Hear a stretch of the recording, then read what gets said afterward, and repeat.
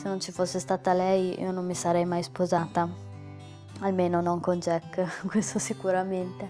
Quando l'ho conosciuta io ho cercato di fare un po' lo splendido, no? facevo le battute, ciao lei ti hai visto, dai mi sono messo con tua sorella, no? visto che è un ragazzo carino e la prima risposta che mi ha detto è stata io pensavo meglio. Perché Jack era uno eh, un po' superficiale. Partivo da un interesse sulle cose pari a zero e non mi ritrovavo negli amici, nelle persone, mi sentivo sempre un po' indietro. Gli ho detto o tu adesso mi dici che c'è una cosa che nella vita eh, ti colpisce veramente, per cui vale veramente la pena fare tutto, oppure ti saluto. Lì mi ha detto io quando, quando, sono con tua sorella sto bene, mi sento veramente me stesso. Mi sentivo più me stesso, più, più a mio agio. Da quel giorno lì gli ho detto va bene, allora pensiamo a un percorso eh, che tu possa fare in questa direzione, un percorso concreto. Ho iniziato a fare un corso da OS, da operatore sottosanitario,